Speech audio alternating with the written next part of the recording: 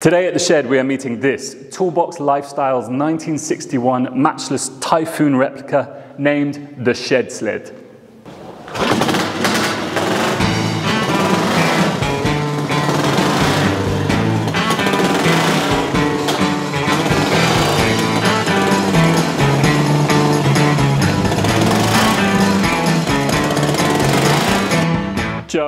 Great to see you. Thanks for coming back, mate. Thanks for the invite, mate. As This is- always. this isn't your first video with us. No, this isn't. No. Last time you were here, we were talking about your sprint bike. Yeah, the Brooklands Yeah. 1000cc sprint bike. And that was our 2023 show poster bike. Yeah. And that was designed for going very quickly around banked ovals. Yeah. Or in a very straight line. Yeah. Yeah. Bit different. Yeah, this is um, Playing in the mud. this is playing in the mud. This is uh, built as an American California desert sled, hence why we've called it the shed sled because we built it specifically for this year's show for you guys, and it's a desert sled theme. But we had that great wheel of sleds at the show. This Yeah, year, yeah, we? it was really good. You, Yeah. had, you also had a, a typhoon. We had another as well. typhoon, an original typhoon, which Archie Morris did some very lovely paint scheme on it. Um, and then also my scrambler, my, my actually pre 60. Oh, yeah, the co- the yeah, competition bike. Yeah, my, my, um, my pre 60 race bike. Yeah. I love this bike. I also love that it's called the Shed Sled. I do too.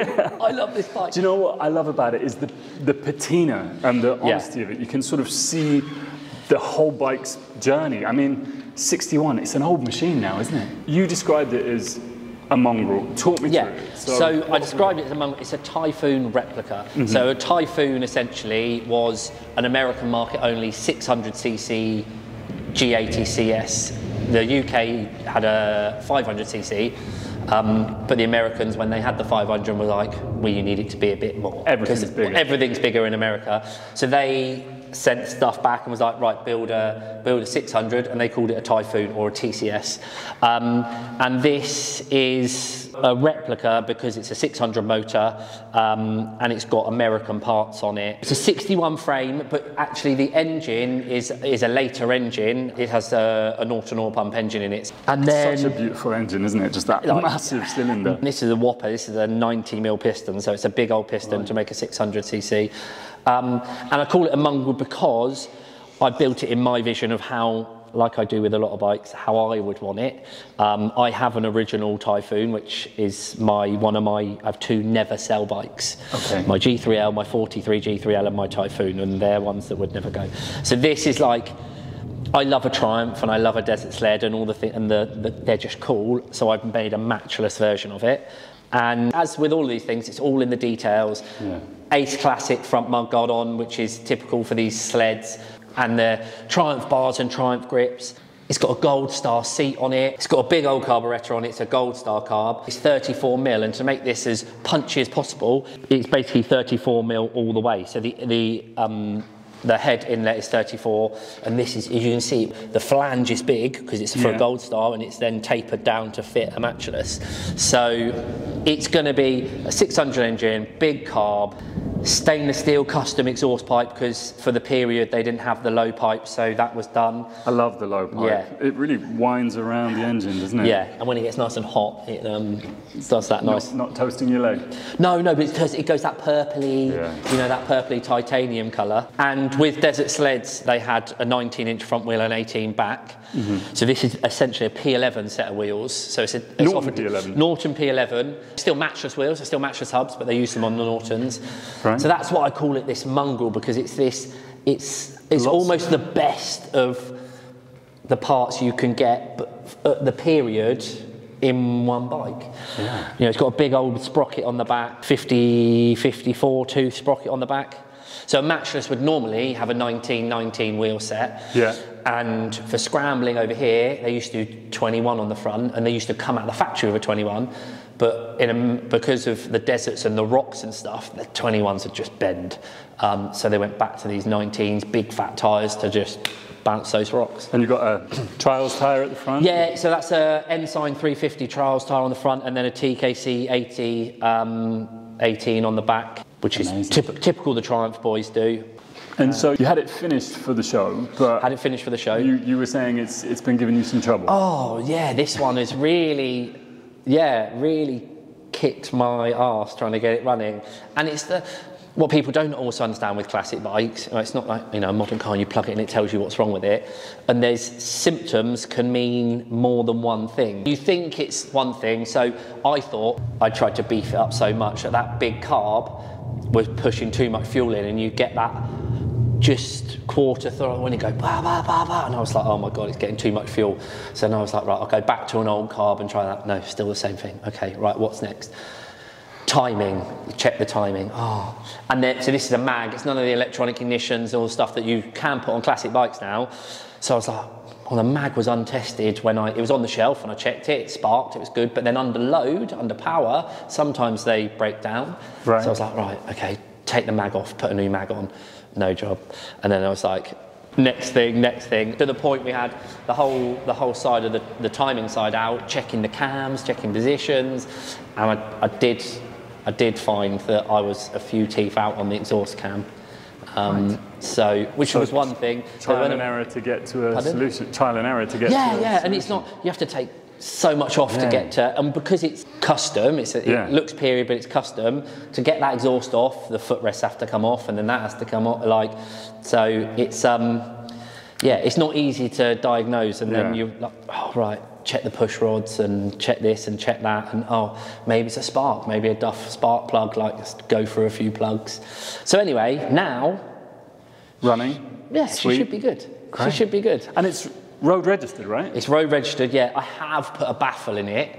Okay. Um, so should you wish to start it oh, we um, please. yeah we can either go I would say sedate mode. It's not really sedate. It's like slightly understated or full full mode.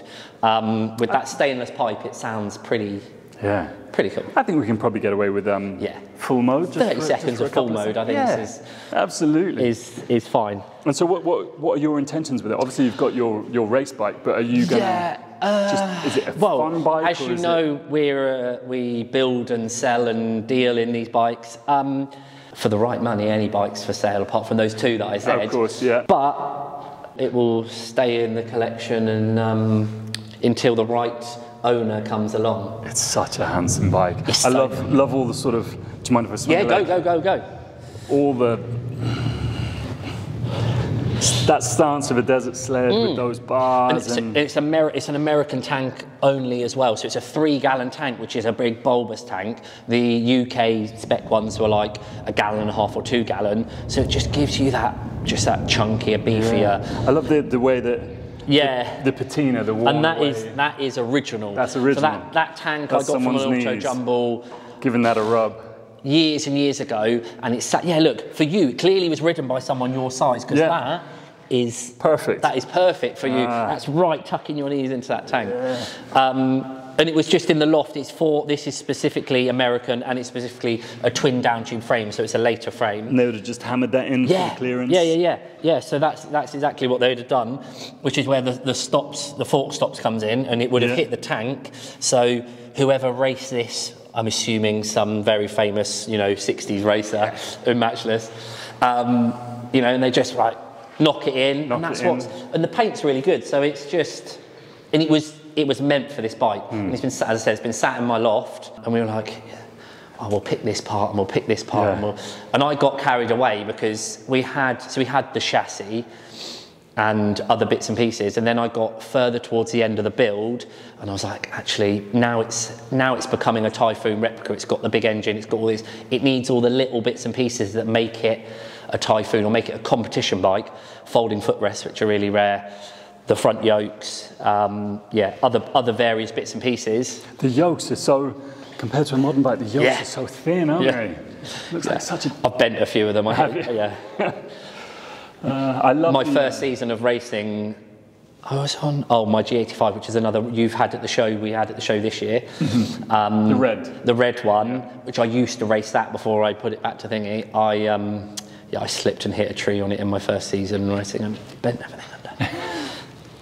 I love the the patina and the age on some of the parts, yeah. like the, this old Castrol sticker yeah. around here. Yeah. Is that was that on it originally? No, but that's a. I have a special for things like this. I have a special stock of period, not modern stickers, but original old Oh, period really? stickers. Yeah, Wow. that only go onto they sort of only go onto bikes that you really don't want to sell or you want to keep because then they disappear. You're going to find that sticker. yeah, again. yeah, exactly. So you, you they're you can't find them. And this is one on the on the airbox filter. Um, Yeah, Filtron sticker. Yeah. Yeah. yeah. Again, proper period, like period old stickers. And Mm-hmm. this is my favourite way to build a bike. The Yeah. the patina, like it could have just been dragged out of a barn and cleaned up from a 60s, 70s bike. And I just, yeah. Then I do, don't get me wrong, I love a shiny, you know, you've had the polished Matisse, which Yeah. is very bling, but this is my, Do you know what I like about it and enjoy about it is that Yeah, this yeah. sort of amalgamation of parts and styles and inspiration. Yeah. So you've got BSA seat, BSA carb, matchless tank, Triumph bars. Norton wheels. Norton wheels. They're matchless, but Norton matchless when they were Right.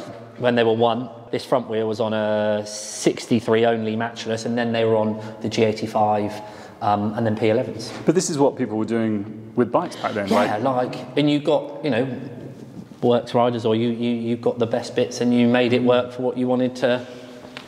wanted to. Yeah, and that's a web that's a Webco, so it wouldn't have been. They normally they're just like this. They're just flat and polished. Right. Um, it's again all in the details. Like this, so this bash guard under here. Um, again, we had it in stock, which is we have a lot of stock of stuff. So building something like this, we can goes to the shelf. cherry pick. Yeah. Um, but it only came to here. It only came, as you see, it's cut. So, and I want it to be, as a desert bike, you wouldn't want any rocks, anything going through and smashing your engine. So I got a bit of aluminium and basically made it look exactly like the bottom. Had at it with And the just, drill. Just smashed a hammer, bashing it, had it with a drill, like, but not not precise, because this is not precise. And, this if you, was- unless you This is old. this is yeah, it's yeah, not no, it's not original. But It's someone's made someone it. made it. someone made it at some point for a to match. matchless, and I made it to match, so you get that full guard. Um, but then trying to just age it to make it fit in because you don't want Mm. a polished bit of metal, especially when all of this is so lovely and aged. And, It's a beautiful and thing, the, the colours, like I love the mag. So a comp mag they do in two that colour, and they do a bright gold one. You've probably ever seen a. is a that the Lucas? yeah, the Lucas competition mags, and it just doesn't. I think the mag just in that same palette as the in, tank, and it just all. And it's nice when they just all come together. You start with just that frame, and they're like, right, put that on and build it to a rolling chassis, and you change bits, and It looks fantastic. I think we need to hear it. yeah, It's do it. time. Yeah, You get the bike, I'll get the door. fun. So it's um, a little bit noisy. right, starting procedure. Put some fuel on. Hopefully she goes. These classic bikes, you I say, take a bit. Right, When did she last run? yesterday. Yes. Doesn't mean anything with a classic bike, Gareth. means nothing. Couple of kicks.